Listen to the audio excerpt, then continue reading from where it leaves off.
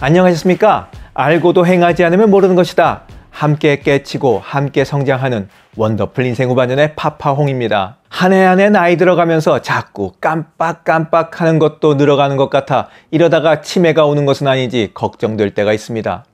그런데 문제는 걱정만 하는 것으로 끝난다는 거죠. 그러다가 또 잊을만 하면 걱정하고 말이죠.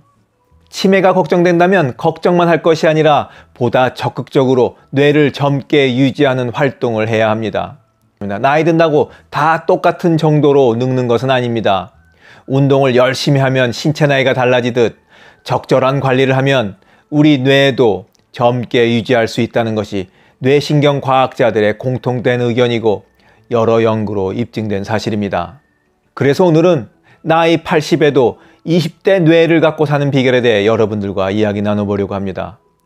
젊게 살고 싶으시죠? 그렇다면 뇌가 젊어야 합니다. 젊은 뇌에 대한 이야기 지금부터 본격적으로 시작합니다.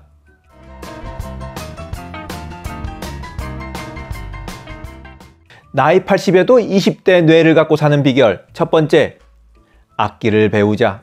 악기를 연주하면 뇌의 표면을 둘러싸고 있는 신경세포 집단인 회백질이 늘어나고 좌뇌와 우뇌 사이에 신경세포 연결이 아주 촉진된다고 합니다. 머리가 팽팽 돌아가는 거죠. 이 때문에 뇌신경 과학자들은 어린 시절 악기를 배우면 수학적 문제 해결 능력에도 도움이 된다고까지 얘기했습니다. 재능이 없다고 변명하지 마시고 지금부터라도 마음에 맞는 악기 하나 골라 찬찬히 배워보시길 추천드립니다. 악기 연주는 재능으로 하는 것이 아니라 반복적인 연습으로 하는 겁니다. 재능은 아주 높은 수준에 이르른 다음에 얘기를 하는 거고요. 나이 80에도 20대 뇌를 갖고 사는 비결 두 번째, 많이 읽는다. 뇌신경 과학자들에 의하면 무언가를 읽으며 새로운 정보를 받아들이면 뇌에서는 새로운 신경회로의 성장이 촉진된다고 합니다. 그러니까 책 읽지 않고 TV만 보고 있으면 바보 된다는 말은 어린아이에게만 해당되는 말이 아닌 겁니다. 글을 읽으며 문제를 파악하고 해결 방법을 찾아가면서 문맥을 이해하는 뇌 기능이 점점 좋아집니다.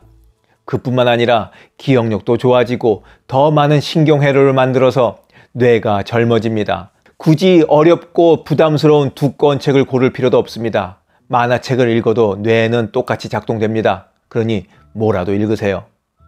나이 80에도 20대 뇌를 갖고 사는 비결. 세 번째, 운동을 한다.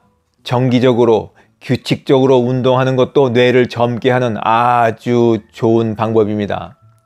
우리 뇌도 장기 중의 하나라는 사실을 잊으시면 안 되겠습니다. 운동하면 몸이 좋아진다고 하죠. 그 속에는 우리 뇌도 당연히 포함됩니다.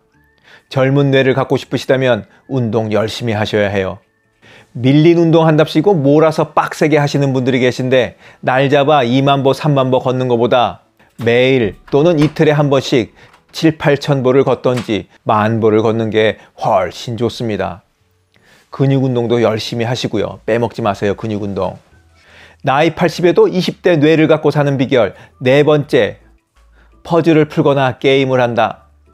치매 예방을 위해 화투놀이 하시는 분들이 이 네 번째 비결을 실천하고 계시는 겁니다. 우리 뇌는 더 많은 정보를 얻을수록 더 잘 작동하고 더 많이 훈련할수록 기능이 좋아집니다. 그런 면에서 컴퓨터와 근육의 작동 원리와 아주 비슷합니다.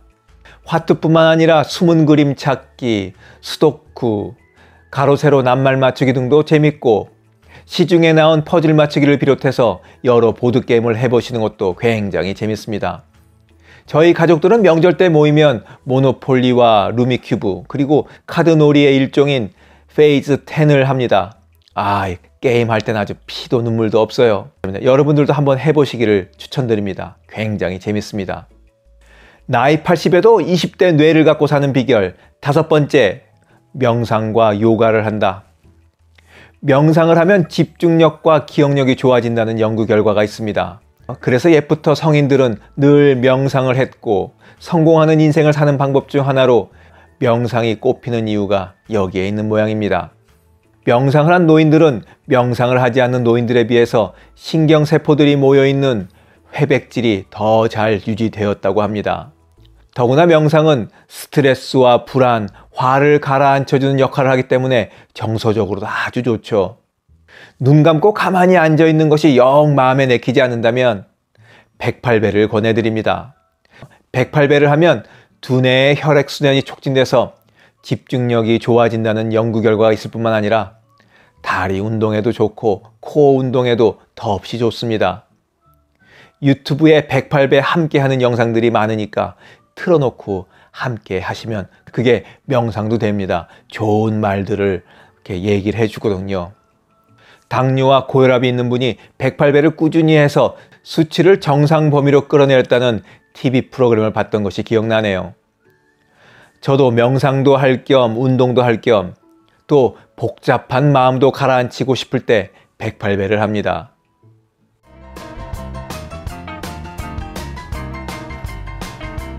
나이 들어서도 운동 열심히 해서 20대보다 더 좋은 몸매를 유지하는 분들이 계시잖아요. 우리 뇌도 정성을 들여서 관리하면 그렇게 20대의 뇌로 살아갈 수 있습니다. 오늘 말씀드린 것 중에 마음에 드는 거 하나만 골라서 하지 마시고 가능하면 모두 다 하시기 바랍니다. 어려운 거 하나도 없잖아요. 운동하지 않고 매일 화투만 치셨다가는 몸 망가지고 그렇게 되면 뇌도 좋지 않습니다.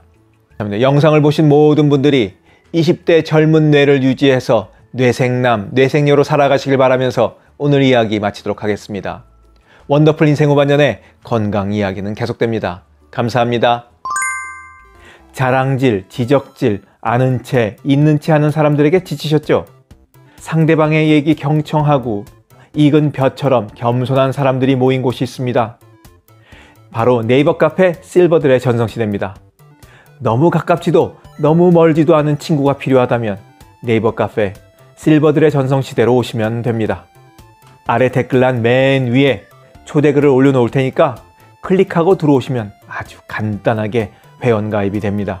아 참, 냉소적이고 비아냥거리고 자기주장 강하고 남 얘기에 이죽거리는 분은 죄송하지만 절대 사양합니다.